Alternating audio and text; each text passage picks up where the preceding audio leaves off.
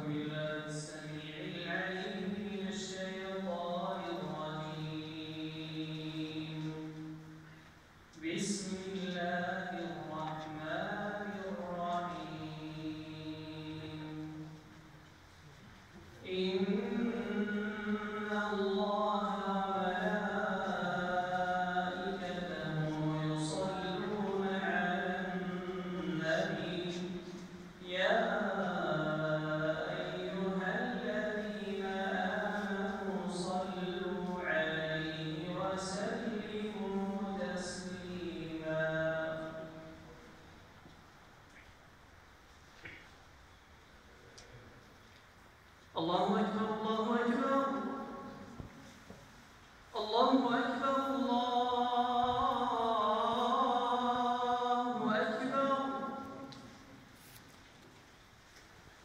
أشهد أن لا الله.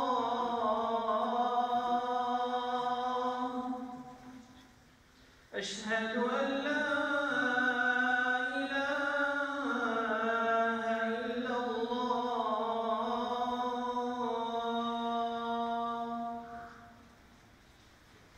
أشهد أن محمدا رسول الله.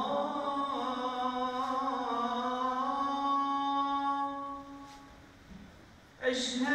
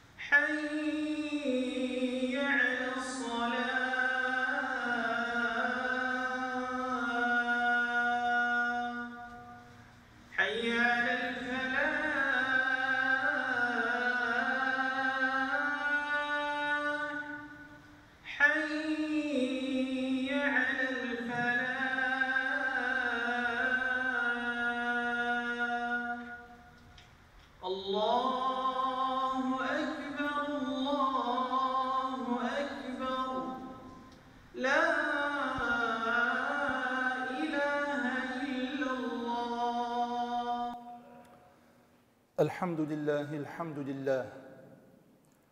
الحمد لله نحمده ونستعينه ونستغفره.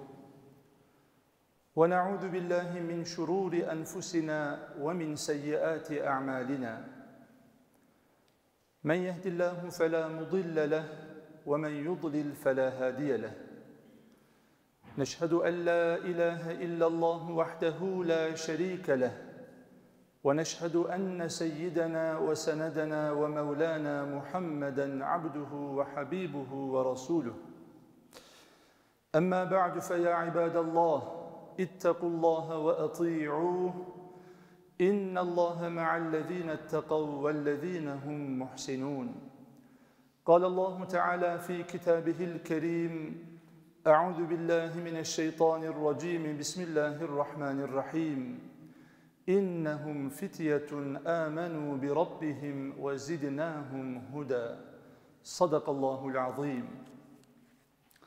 وقال رسول الله صلى الله عليه وسلم سبعة يظلهم الله في ظله يوم لا ظل إلا ظله.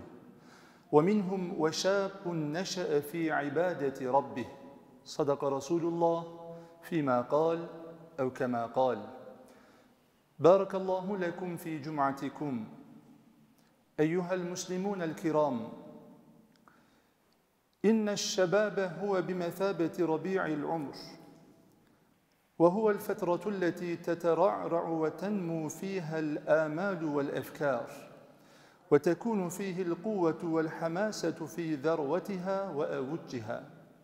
ولا شك أنه إذا ما تم تقييم مرحلة الشباب بشكل جيد فإن ذلك سيكسب المرء سعادة الدنيا والآخرة.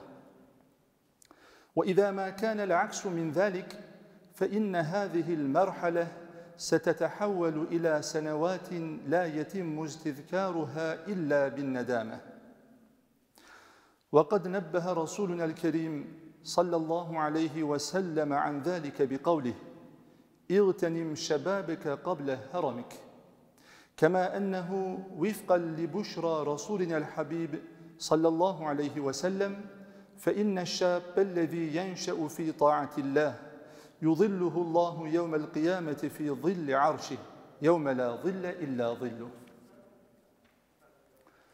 أيها المؤمنون الأعزاء إن شبابنا هم مستقبلنا وهم أملنا وهم أعظم إمكان وثروة تجعل منا أقوياء وإن كل واحد من شبابنا هو قيمة قائمة بذاتها بالنسبة لنا. حيث يستحق الاهتمام والخير والدعم والمحبة. لذا فلنجتهد معا وسويا من أجل أن ينشأ هؤلاء ويترعرعوا بصفتهم أفرادا ذوي فائدة ونفع وخير للإنسانية. مرتبطين بقيمهم الدينية والوطنية والروحية. ويتمتعون بالوعي الإنساني والحضاري. وأودت أن أنهي خطبتي بهذه الآية الكريمة التي تتحدث عن أصحاب الكهف ممن أظهرهم القرآن الكريم على أنهم أنموذج ومثال يحتذى به. قال تعالى إنهم فتية آمنوا بربهم وزدناهم هدى.